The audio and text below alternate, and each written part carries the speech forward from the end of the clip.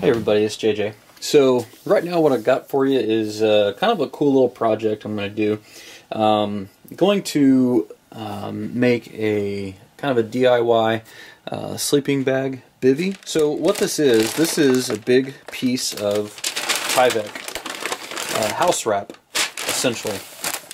And uh, I got it off of Craigslist. The guy was selling it, you know, by the foot and it's 9 feet wide and 20 feet long. So I'm going to trim some of that down for uh, to be the right size for a shelter piece, and then the remaining part of it is I'm going to use for a uh, kind of a DIY bivy. Now, a lot of you guys, if you're not familiar with what Tyvek is, it's a it's a waterproof but yet um, still breathable uh, material, and they use it in construction to go around houses and stuff like that. But I first uh, became aware of Tyvek in the survival school, and um, we used Tyvek material uh, to put maps on. They were called evasion charts, and they would go into survival vests and survival kits and things like that.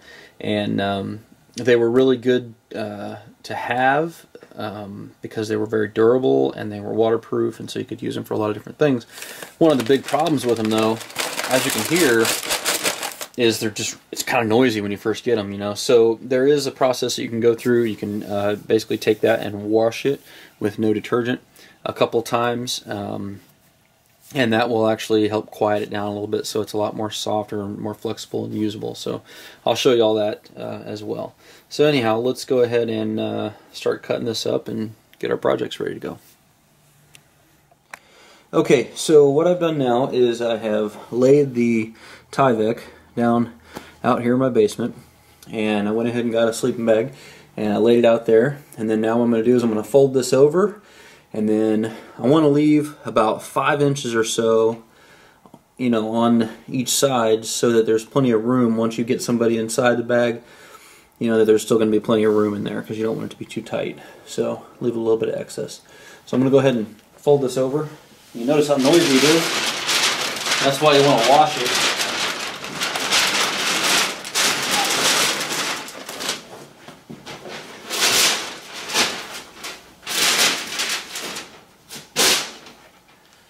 Okay, so give myself a good, you know, five inches or so on that side, and that should be plenty. And then I'll just measure up real quick on both sides with the tape measure and cut that across real quick. We'll be right back. Okay, so I laid it out and I went ahead and measured out to where I marked it over in that corner. And that turned out to be about five foot and eight inches for me. And that will be plenty of uh, plenty of space. It's not going to be tight or anything like that and it should work out good. So now what I'm going to do is I'm going to go ahead and cut across where I made those marks and then that'll be ready to go and then it'll be time to uh, go ahead and put in the washing machine. Alright, so we got the Tyvek down inside the washing machine. All we're doing is uh, it's going to wash it on a cold uh, setting, cold water setting, and we'll probably run it through uh, at least two times, maybe three to soften it up. Okay, so after we soaked it in water, put it through uh, two or three um, cycles on the washing machine, we went from this, that is extremely loud and annoying, to this, which is much more soft and pliable and all that kind of stuff. So now the next step is going to be to take some uh, double-sided carpet tape, tape, and I think I paid, I don't know, six or seven bucks for this at least, and it'll be more than enough to finish this project up. And basically, what I'm going to do is I'm going to I'm going to tape this seam, and then I'm going to tape it up the other edge to kind of enclose the uh, the bivy sack. And probably only going to do like uh, you know one foot strips of this at a time, just to make it easier to handle. So.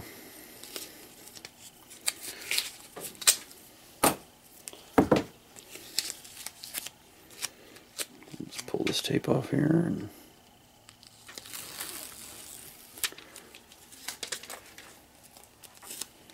And this doesn't have to be an exact science, but you do want to try to get it fairly straight.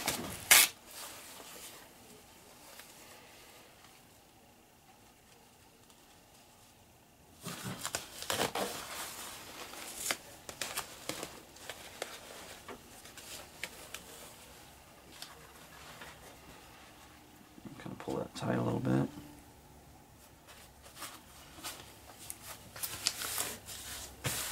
And then lay it down.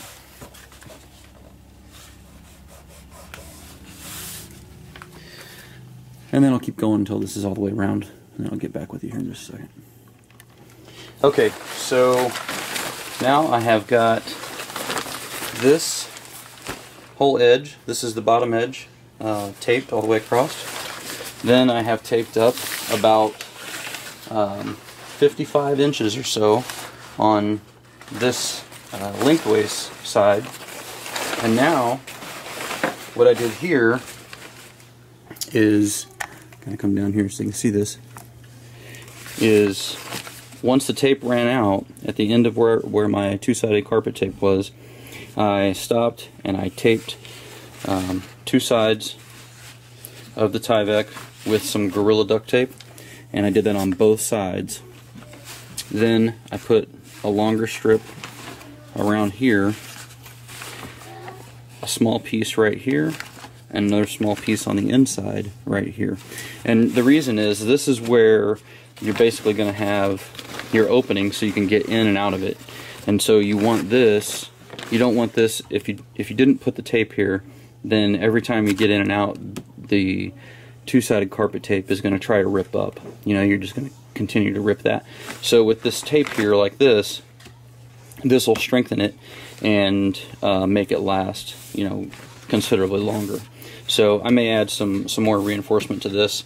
Um, you might even be able to uh, take and do some real quick stitching or something along those lines uh, here in this area to help uh, keep that closed. So, okay, so now what I'm going to do is I'm going to go ahead and cut off the excess on the top side because uh, if you guys remember this was uh, longer, it was like uh, 9 feet wide. So I'm going to have some excess on the top but then I'm going to leave the excess on the bottom. I'm going to fold that over and encase that in to make a uh, built-in pillow. So I'll show you what that's like here in just a second. Okay, so here we've got the bivy laid out, and as you can see, this is the uh, kind of the seam area here where it'll fold out to allow you to get out, you know, of your bag a little easier. And then I've cut the top off. You can see that over here. And this section, what I'm going to do here is I'm going to fold this over and I'm going to seal that side and down along this edge and then I'm going to leave this side open down here and then you can that'll be an area where I can just stuff in um, extra clothing you know a shirt and a pair of pants something like that to use as a pillow and then that'll be it it'll be all finished up so let's do that and I'll uh, show you what that looks like. Okay, so we've got the Tyvek bivy bag all finished up. I did add a little bit of uh, just uh, Gorilla Tape reinforcement on that corner. And then I finished up the pillow area, just like I told you.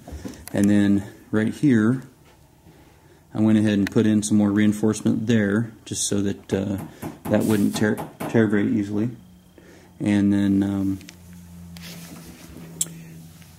just took the uh, double-sided carpet tape all the way across here, put a little reinforcement here as well, and then I've got the opening here where I can just stuff in some clothing or whatever for a pillow, you know, um, just basically right where the head lays on the sleeping bag.